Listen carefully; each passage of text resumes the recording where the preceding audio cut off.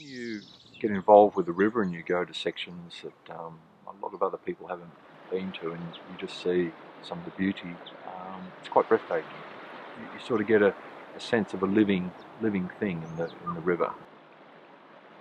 My name's Saul Vermeer and I'm with the Corangamite Catchment Management Authority and we're here today um, to do some aquatic sampling uh, of the Moorabool River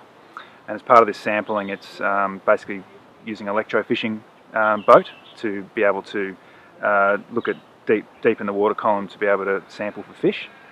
Um, so this project was uh, basically funded by the Victorian Environmental Water Holder to support our environmental water watering program for the Moorabool River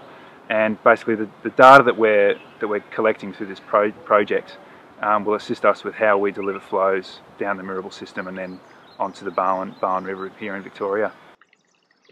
Environmental water uh, is basically a water allocation um, that's used to support uh, environmental outcomes to, to achieve environmental objectives, whether it's in a, a river or a wetland. Environmental water management, um,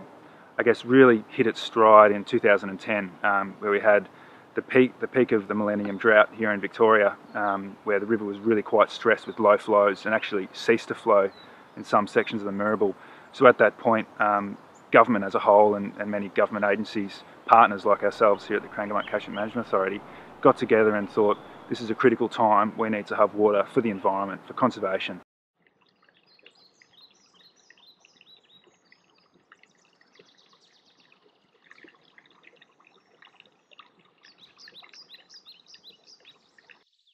It's a lifetime really that I've, uh, I've had a, an association with the, the uh, river systems and the aquatic uh, vegetation and animal life has been a passion of mine for all those years.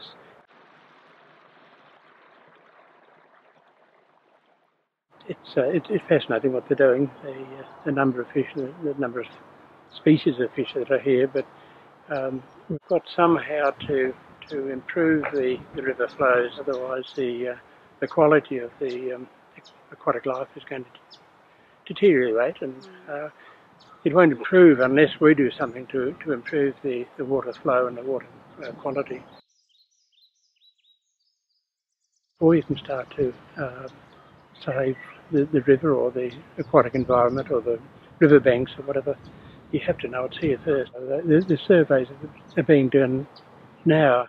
You can measure what's happening, you know what's uh, what's going on, you know what species are surviving. So uh, these fish surveys are wonderful from my point of view.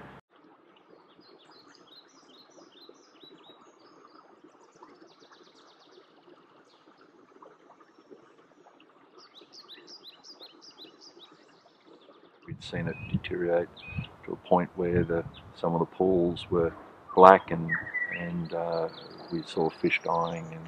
etc etc so it's a river that's copped it pretty hard for a long long while and it's a river that needs everybody's efforts to try and bring it back to where it was you know, I think all of us accept that um, we all different species use the river differently um, and there should be a role for extracting water for human consumption and stock and domestic, but um, there's a lot of other species that rely on that water as well. And it's a matter of sharing it. It's not a matter of any one section taking, uh, of the living community taking uh, far above their share. At present, the Moorabool River only receives about 10% um, of the environmental water it needs to support its the river ecology. Um, and we really need the community to understand why environmental water is so important. It's, it's not just something that's there for conservation, but it's also something we use